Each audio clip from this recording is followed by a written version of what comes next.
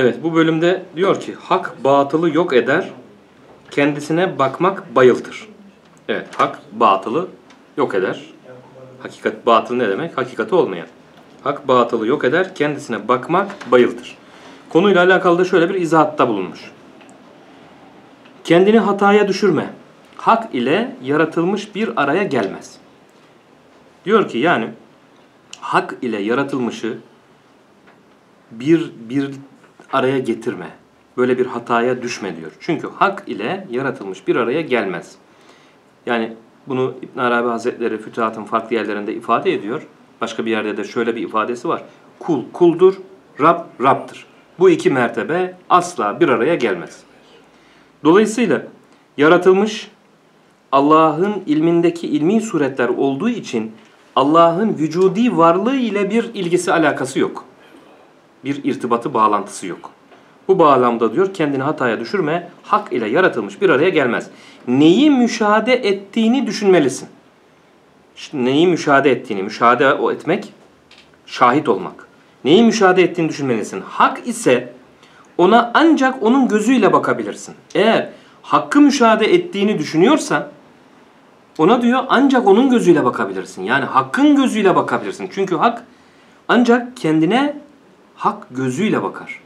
Senin gözünle yani yaratılmış olarak sen gözünle hakkı göremezsin. Dolayısıyla hak ise müşahede ettiğin, hakkı müşahede ediyorsan, bir müşahedede hak söz konusuysa ona ancak onun gözüyle bakabilirsin. Çünkü onu kendisinin gözünden başka bir şeyle idrak edemezsin. Hakkı ancak hakkın gözüyle idrak edebilirsin. Bu nasıl oluyor? Hani bir kutsi hadiste diyor ya farzları yerine getirir kulum ondan sonra nafilelerle iştigal eder. Nafilelerle iştigal ettiğinde ben o kulumun gören gözü, tutan eli, yürüyen ayağı olurum. Ya da benimle görür, benimle tutar, benimle yürür dediği manada işte burada çünkü onu kendisinin gözünden başka bir şey idrak edemezsin. İçinde bulunduğun vakit hak olduğunda senin için halk yani yaratılmış söz konusu değildir. Eğer ki bulunduğun vakit haksa, hakkı müşahede ediyorsan o zaman halk söz konusu değil. Yani hak varsa başka bir yerde fütuhatta şöyle ifade ediyor. Hak varsa halk örtülmüştür. Halk varsa hak örtülmüştür. Yani meseleye böyle bakmak gerekiyor. Hakkı görüyorsan o zaman halk örtülür. Halkı görüyorsan o zaman da hak örtülür. İkisinden de örtüyü aynı anda kaldıramaz. Öyle bir şey yok. Örtü kalkıp da ikisi de birlikte gözükmez. İçinde bulunduğun vakit hak olduğunda senin için halk yani yaratılmış söz konusu değildir.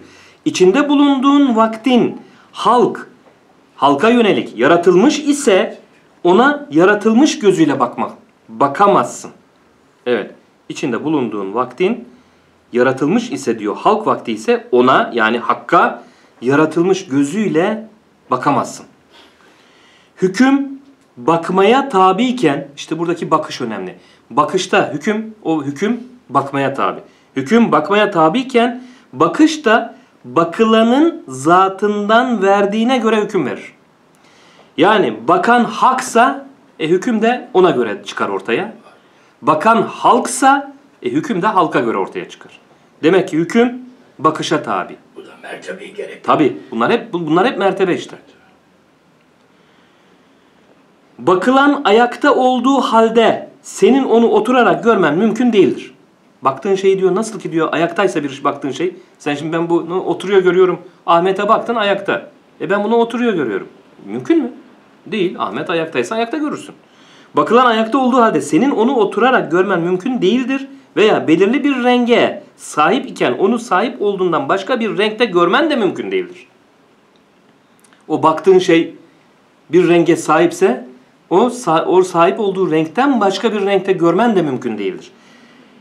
Peki bazen böyle hatalar oluyor. Neden oluyor? Algıda gerçekleşen böyle bir yanılma. Yani baktın renk körü adam ne yapıyor? İşte o zaman ya, baktığı o an rengi olduğu hal üzere görmüyor. Renk körlüğüne yani kendi mizacındaki bir rahatsızlıktan dolayı farklı görüyor. Veya ne dedi burada örnek verdi. Bal tatlı olduğu halde safra baskın gelen insanda mizacında bir bozulma sö- söz konusu. Safra baskın gelmiş. O zaman böyle bir insan balı yediğinde ağzına aldığında ya bu bal acı der. Balda acılık yoktur. Algıda yanılma söz konusu. Neden? Çünkü mizacına ilişen bir hastalıktan dolayı. Safra baskın geldiği için o bala yediği tatlı şeye acı diyecek. Hakikatte o bal acı değil. Ama o adam acı algılıyor. Neden? Çünkü mizacına ilişen bir hastalık söz konusu. Renk körü baktığında o rengi farklı görüyor. Neden? Mizacında yani yapısında bir hastalık söz konusu. Demek ki acılıktan söz ederken insan doğru söylemiş. Evet bir acı acı hissediyor. Ağzında bir acılık tadı var o balı a- alıp da acı diyen adam. Acılıktan söz ederken doğru söylemiş. Acılığı bala nispet ederken yanlış hüküm vermiştir. Ya burası çok önemli işte. Yani balı yedi, acı dedi. Doğru. Ama ardından ilave etti. Bu bal acı. İşte burada yanlış yaptı. Acı dedi doğru. Çünkü acı tadı aldı. Neden? Safra baskın gelmiş kendisinde. Dolayısıyla acı tadı alacak yani. Tatlı da yese acı tadı alacak. Bana göre demesi. Orada bu bal acı dememesi lazım. Ben acı aldım Ben diyecek. acı Ben acı tat aldım dediğinde doğru işte. Bal elbette ki tatlı olabilir ama ben acı tad aldım dese söz doğru. Ama bu bal acı dediği zaman hükmünde hata yapmış oluyor. Acı derken doğru söylüyor ama bala acılığı izafe ettiğinde hükmünde hata yapmış oluyor. İşte buradan bir örnek verdi bakın. Bu örnek üzerinden tefekkür ettiğinde neler çıkar neler, ne malzemeler çıkar yani. Tabi hükmünde insan evet aynı hayat içerisinde de böyle hükmünde kendisine ilişen bir durumdan dolayı, mizacındaki bir durumdan dolayı veya algısındaki bir problemden dolayı gördüğü şey hakkında hüküm verirken hata eder. Diyorlar ya hocam resmin tamamına bakın diye. İşte bunu e, tasavvuf alanında da, bu hakikatleri ifade etme alanında da hep okuduk. İbn Arabi Hazretleri Fütuhat'ta da birçok kims- kimsenin ehlullah'tan bile, ehlullah'tan dahi olsa bazılarının işte bu husustaki hatalarını bak burada ne güzel zikrediyor değil mi? Bu konuda diyor bu hata etmiştir.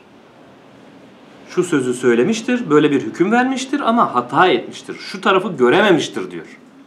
Oysa ki hakikat böyledir diyor. İşte bunu aslında biz günlük hayatımızda çok yapıyoruz bunu, bu hatayı. Evet. Hükmümüzde hata ediyoruz. Gördüğümüz şeyi algılamakta, yorumlamakta hata ettiğimiz için verdiğimiz hüküm de hatalı oluyor. Bu hususu diyor iyi bilmelisin, bunu anlamalısın, bilmelisin diyor tabi.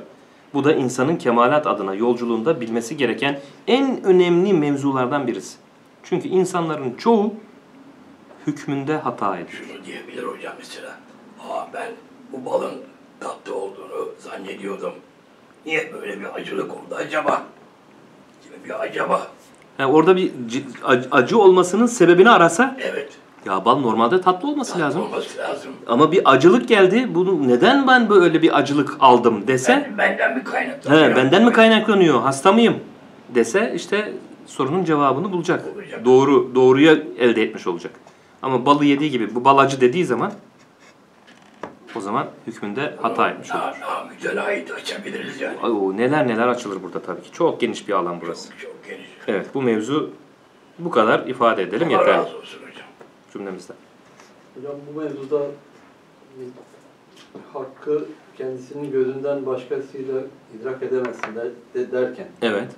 peki hakkın gözüyle nasıl bakılır? Ha, işte hak, hakkın gözüyle bakmak, hak senin melekelerin haline gelecek.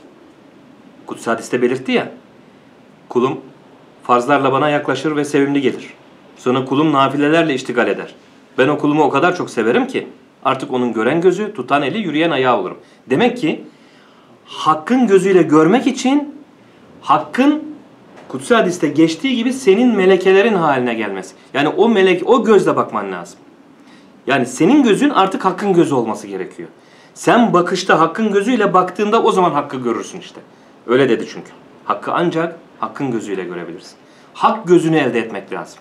Kendi gözünle bakarsan o gördüğün hak değil. Kendin ortada olduğu sürece.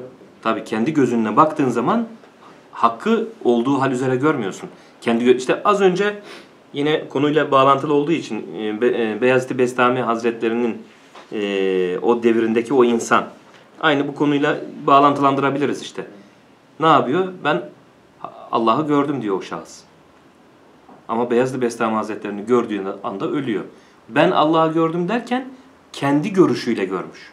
Hakkın gözüyle görmemiş. Kendi istidadınca. Kendi istidadınca görmüş o da kısıtlı. Dar. O hak değil yani. Gerçek manada hak değil o. Kendi istidadınca gördüğüne işte hak demiş ona. Ben hakkı gördüm demiş. O, o kul gözüyle bakışta gerçek manada hak gözükmez. O kulun bakışında gözüken haktır. Ha- gerçek manada hak değildir o. Kulun bakışındaki o dar kapsamlı, kulun hak zannettiği şeydir. Kul orada hak zannediyor onu. Ama kendi dar kapsamlı bakışıyla görüyor. Kendi istidadınca. Dolayısıyla ona hak demesi doğru değil.